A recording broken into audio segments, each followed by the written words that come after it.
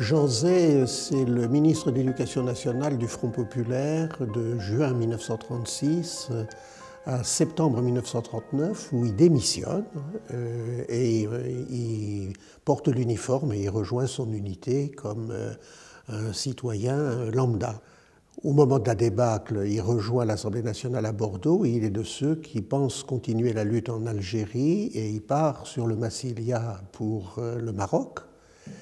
À Casablanca, il est arrêté par le gouvernement de Vichy jugé de manière totalement inique pour euh, désertion en présence de l'ennemi et condamné à la détention criminelle à perpétuité, ce qui est la condamnation du capitaine Dreyfus. Et donc on le met en prison à Rion, où il passe euh, toute la guerre jusqu'au 20 juin 1944, où euh, des miliciens viennent le prendre dans sa prison et l'assassinent au coin d'un bois, alors qu'il n'avait pas 40 ans.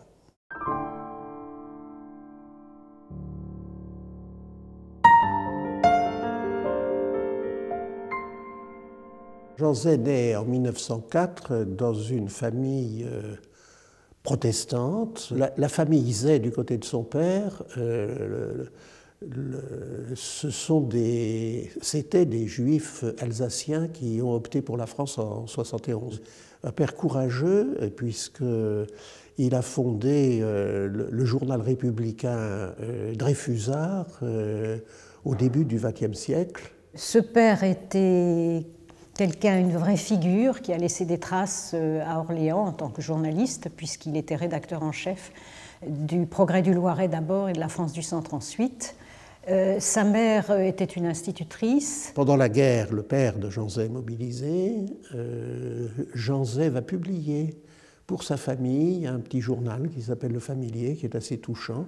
On a ces carnets de gamins pendant la Grande Guerre, quand son père est au front.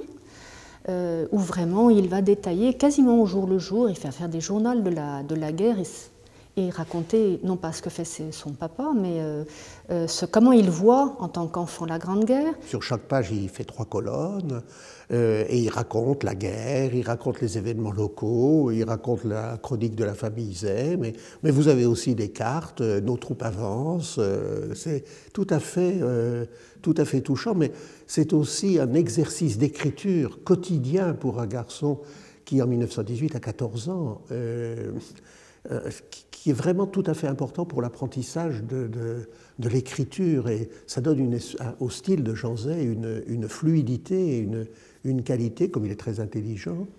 Euh, ça lui vaudra un prix au concours général en français et des études brillantes qui vont faire de lui un avocat.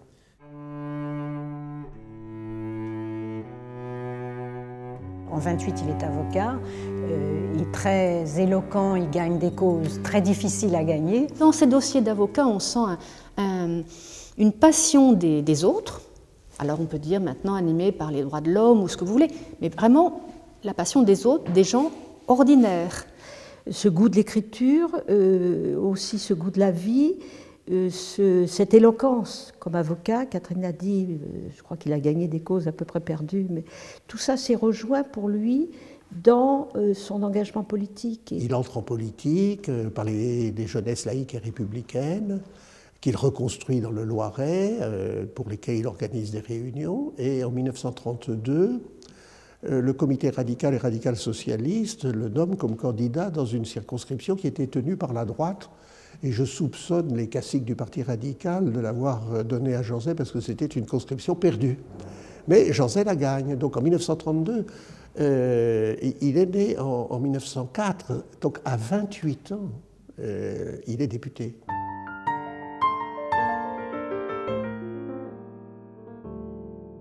À partir du moment où il est député, il va avoir dans le Parti radical le statut d'un espoir montant et d'un jeune homme à qui on peut confier des responsabilités. C'est lui qui fait le rapport de politique générale au Congrès radical qui décide d'adhérer au Front populaire. Il entre au gouvernement euh, en janvier 1936 dans le gouvernement Sarrault, où il est secrétaire d'État à la présidence du Conseil. Et euh, à mon avis, c'est là que Léon Blum le remarque et se dit euh, ce garçon a de l'étoffe, euh, il faut que je le mette dans mon gouvernement.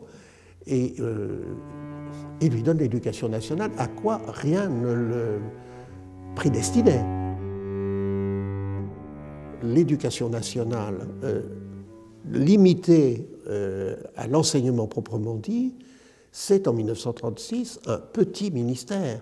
Ce n'est pas du tout le grand ministère d'aujourd'hui. Donc c'est un ministère dans lequel les aspects culturels sont très importants. Jean Zay, dans son ministère, passe du temps à créer réunion des théâtres nationaux, euh, à préparer euh, ce qui n'aura pas lieu, le Festival de Cannes, euh, à s'occuper aussi des musiciens, à s'occuper des, musées, des beaux-arts.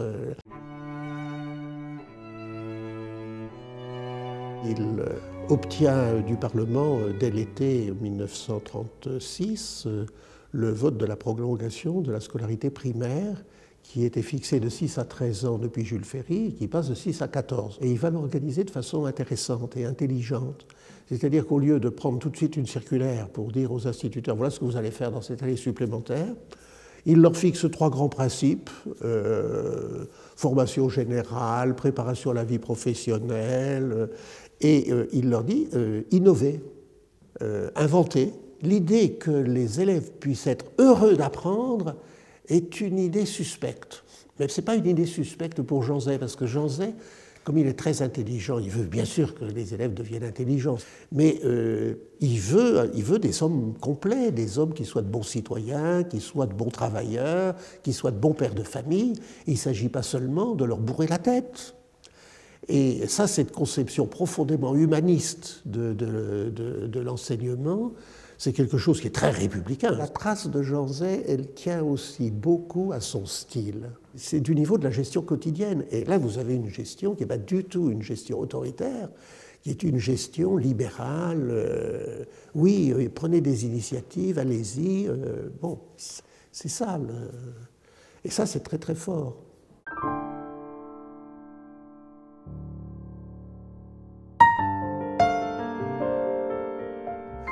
Au moment de la débâcle, il rejoint l'Assemblée nationale à Bordeaux il est de ceux qui pensent continuer la lutte en Algérie et il part sur le Massilia pour euh, le Maroc.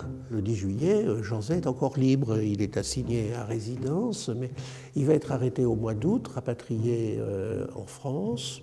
Il est donc jugé le 4 octobre 1940, condamné à la déportation, dégradation militaire et puis envoyé à Marseille pour euh, euh, prendre le bateau en direction de l'île du Diable. Finalement, on renonce à le déporter à l'île du Diable dans la mesure où bah, Vichy n'a pas la maîtrise des mers, hein, et donc on va l'emprisonner à Rion. Son avocat, qui était Alexandre Varenne, va obtenir pour lui un statut qui s'apparente au statut de prisonnier politique, même si ce n'est pas tout à fait ça. Madame Zay a pu rejoindre Rion. Euh, au milieu de l'année 41. Notre mère donc vient, quand elle peut le faire, quand elle a l'autorisation, à peu près tous les jours, avec nous deux. Il souhaite qu'on mène la vie la plus normale possible et ce petit jardin qu'il a réussi à, cultiver dans, devant sa, cellule était aussi pour qu'on ait quelque chose qui ressemble à, à un jardin. Il va écrire ses souvenirs et solitudes, il va écrire un roman policier, il va euh, faire différentes réflexions, dont notamment un projet de grand ministère des Affaires culturelles, euh, joignant la culture et l'éducation nationale. Ça a été imprimé dans le deuxième cahier de l'OCM, l'Organisation civile et militaire, qui est un groupement de résistance tout à fait reconnu, qui fait partie du CNR euh, en 1943. Et on ne sait pas comment le, le texte de Jean Zay est sorti de Rion, mais on a le texte dans les cahiers de l'OCM et on a le manuscrit dans les archives de Jean Zay. Et ça correspond exactement. Donc euh, il y a des contacts entre Jean Zay et la résistance.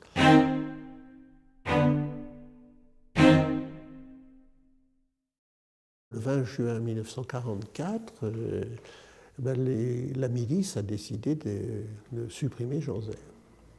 Il y a un registre d'écrou et il faut donc une pièce officielle pour sortir Jean Zay. Alors cette pièce officielle, c'est un ordre de transfert euh, pour la prison de Melun.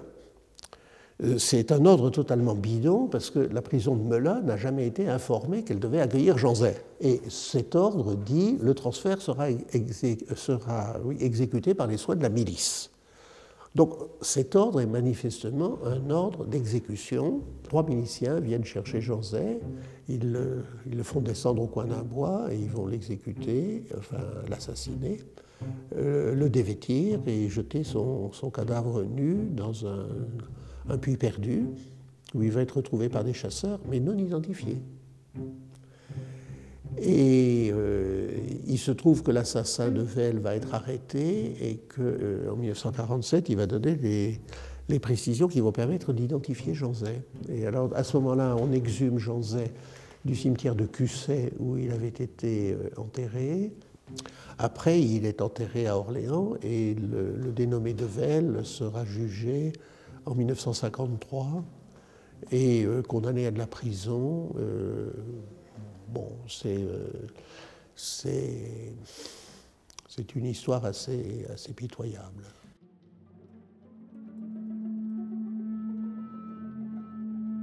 Non seulement on le tue, José, mais, mais on fait ce qu'il faut pour qu'il n'y ait aucune tombe à son nom. Donc qu'il soit rayé complètement de la carte. Et ça, je trouve que c'est euh, là que vous, voyez, euh, que vous voyez vraiment que, oui, c'est la haine. Il a été en but à une campagne antisémite d'une violence qu'on a même du mal à imaginer maintenant dès qu'il rentrait dans la vie publique, hein, dès 1932, dès qu'il a un personnage en public, euh, ça commence. Les choses qui, vous font aimer sont aussi les choses qui vous font haïr. Euh, Jean Zay a quelque chose de, comment dirais-je, de, lumineux, de lumineux, de, de solaire.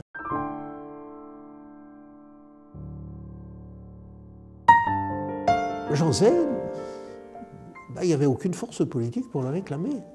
Blum a eu une action politique après la, après la libération. Notre père, comme dit Antoine Pro, n'était pas là. Il y a une mémoire de Jean Zay euh, euh, qui, qui, est réelle aujourd'hui et qui, et qui montre, qui essaye d'être l'emblème d'une gauche réformatrice, intelligente, pas sectaire euh, et cependant dynamique retrouver cet homme à travers ce livre, Souvenir et solitude, à travers les films euh, qui viennent d'être faits, sans, je crois, euh, pour la génération actuelle, pour les jeunes d'aujourd'hui, puisque Hélène a dit qu'il était lui-même l'image même de la jeunesse, d'un enseignement précieux.